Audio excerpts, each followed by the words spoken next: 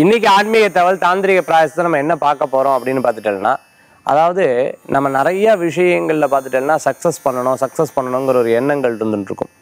ஆறு விதமான சிந்தனைகள் நம்ம வாழ்க்கையில் வெற்றியை கொடுக்கும். ஒரு விஷயத்தில் வந்து ரொம்ப கான்சன்ட்ரேட் பண்ணுறது நம்ம வாழ்க்கையில் நல்ல முன்னேற்றத்தை கொடுக்கக்கூடியதாக இருக்கும். அடுத்தது பார்த்துட்டோம்னா அதுலேயே தீராது நிலைத்திருப்பது அந்த காரியத்தை வெற்றி பெறத்துக்குள்ளான வாய்ப்புகளை கொடுக்கக்கூடியதாக இருந்துருக்கும் அடுத்தது மூணாவது பார்த்துட்டேல் அப்படின்னு சொன்னால் அதன் மூலமா எனக்கு என்ன லாபம் நஷ்டம்னு பார்க்குறது உங்களுக்கு அதில் நல்ல முன்னேற்றத்தை கொடுக்கக்கூடியதாக இருந்துருக்கும் அடுத்தது நாலாவது பத்திரிகைனா எனக்கு மட்டும் லாபம் கிடையாது. மற்றவர்களுக்கு இதனால் என்ன பிரயோஜனம் அப்படின்னு பார்க்குறது அந்த நாலாவது விஷயத்தை கை கொடுக்கக்கூடியதாக இருக்கும். அஞ்சாவது பார்த்துட்டோம்னா இதனால் நம்மளுடைய தேசத்துக்காக எவ்வளோ மாற்றங்கள் ஒரு பிரயோஜனமாகிறது அப்படிங்கிற ஒரு விஷயத்துக்காக நம்ம வந்து அஞ்சாவது விஷயத்தை கொடுக்கக்கூடியதாக இருக்கும். ஆறாவது பார்த்துட்டோம்னா இது ஐந்தையும் பண்ணும்போது நம்ம ஆறாவது நம்மளை ஒரு வெற்றியாளராகவும் அந்த தொழிலில் முன்னேற்றத்தை கொடுக்கக்கூடியதாக இருக்கும். இப்படி இந்த ஷட்கோணம் வந்து இவ்வளோ உபயோகரமாக இருக்குது இன்றைக்கி ஷட்கோணம் இந்த ஷட்கோணத்தில் இருக்கக்கூடிய வழிபாடு இந்த அஞ்சு விஷயத்தையும் நாம் நினைத்து செய்யும் பொழுது நம்ம வாழ்க்கையிலையும் தொழிலையும் முன்னேற்றத்தை தரக்கூடியதாக இருந்துருக்கும் அதுதான் இன்றைக்கி ஷட்கோண வழிபாடு நம்ம பார்க்க போகிறோம் அதாவது ஷட்கோணம் தெரியும். அதாவது திரிக்கோணம் உங்களுக்கு தெரியும். மூன்று கோணம். இப்படி ஒன்று ரெண்டு மூணு.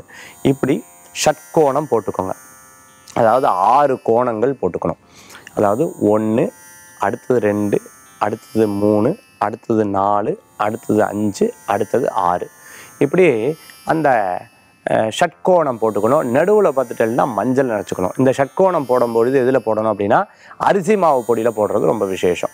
அதுக்கப்புறம் பார்த்தீங்கன்னா நடுவில் மஞ்சளை முழுக்க நினச்சிக்கணும் அதுக்கப்புறம் நடுவில் குங்குமம். அந்த ஷட்கோணங்களில் ஒவ்வொரு இடத்துல குங்குமம். அந்த குங்குமம் வைக்கிற இடத்துல மஞ்சொட்டி தீபம் ஏற்றிக்கலாம் அப்படி ஆறு தீபங்கள் ஆறு விதமான கோணங்களில் ஏற்றணும் அப்படி ஏற்றிட்டு நான் சொல்லக்கூடிய மந்திரத்தை விடாது ஜபிக்கணும். அதற்கு முன்னாடி இந்த ஷட்கோணங்களில் ஒவ்வொரு விஷயம் நான் இதுக்கு முன்னாடி சொன்னேன் இல்லையா? இந்த ஒவ்வொரு விஷயத்தை மனசில் நினச்சிண்டு நம்ம வந்து நம்முடைய தொழிலை பற்றி சிந்திச்சுண்டு நம்ம விளக்கேற்றும் போது இந்த ஷட்கோண வழிபாடு மேலும் நம்மளுடைய எண்ணங்களை ரொம்ப தெளிவாகவும் ஷார்ப்பாகவும் ஆக்கி கொடுக்கும்.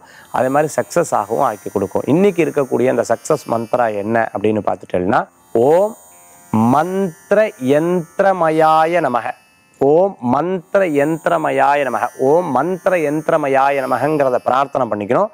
அடுத்தது பார்த்துட்டோம்னா ஓம் வரதாய நமக. ஓம் வரதாய நமக. ஓம் வரதாய நமக.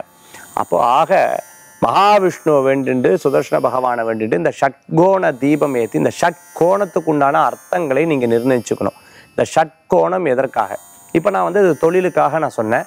அதே மாதிரி சில பேர் பார்த்துட்டேன்னா நம்மளுடைய வாழ்க்கை அடுத்தது பார்த்துட்டேன்னா நம்ம வாழ்க்கையில் இருக்கக்கூடிய குடும்பம் அடுத்தது செல்வம் அடுத்தது ஆரோக்கியம் இந்த மாதிரி ஆறு கோணங்களை மனசில் நினைத்து கொண்டு தீபங்கள் ஏற்றலாம் இப்படி உங்களுடைய விருப்பத்துக்கு ஏற்றால் போகிற நல்ல நியாயமான விஷயங்களை இந்த ஷட்கோண தீபமாக நம்ம ஏற்றி வழிபட்டோம்னா நிச்சயம் வெற்றி பெறத்துக்குள்ளான வாய்ப்புகள் ஏற்படுத்தி கொடுக்கும். இன்றைய ஆன்மீக தகவல் உங்களுக்கு ரொம்ப பயனுள்ளதாக இருக்கும்னு நினைக்கிறேன்.